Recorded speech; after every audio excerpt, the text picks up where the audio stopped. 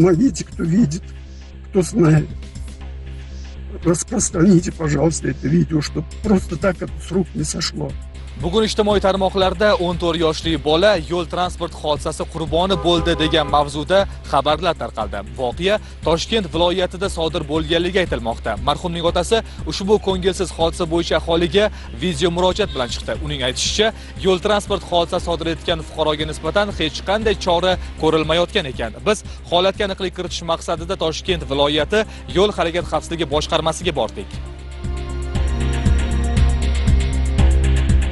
Joriy yilning 12 sentyabr kuni soat taxminan tungi 1:30 larda toshkent viloyati o'rta chirchiq tuman hududidan o'tgan 4 er 20 toshkent qorasuv begobod avtomobil yo'lining 8 kilometrida matiz rusumli avtomobil haydovchisi yo'l chetiga to'xtab qayrilib olish maqsadida qarama qarshi yo'nalishga chiqadi va Begobod yo'nalishidan kelayotgan Damas rusumli avtomobil bilan to'qnashuv sodir etadi. To'qnashuv natijasida Damas rusumli avtomobil haydovchisi rul boshqaruvini yo'qotib, yo'l chetida turgan voyaga yetmagan 2007 yilda tug'ilgan fuqaroni urib yuboriladi.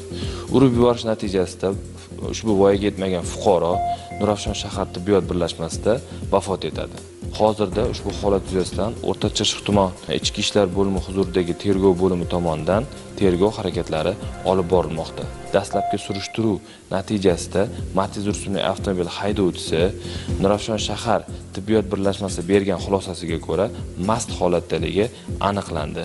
tergov jarayonlari yakuniga yetganidan so'ng yo'l transport hodisasi sodir etgan fuqaroga nisbatan qanday jazo tayinlangani haqida kelgusi dasturlarimizda ma'lumot beramiz. Shu o'rinda biz piyoda va haydovchilardan yo'l harakat qoidalariga qat'iy rioya qilishlarini so'rab qolamiz. Mana o'zingiz ko'rdingiz salgina e'tiborsizlik 14 yoshli bolaning umriga zomin bo'ldi. Dilmurod g'ofurov rustam rustamov millar dasturi uchun maxsus tayyorlandi.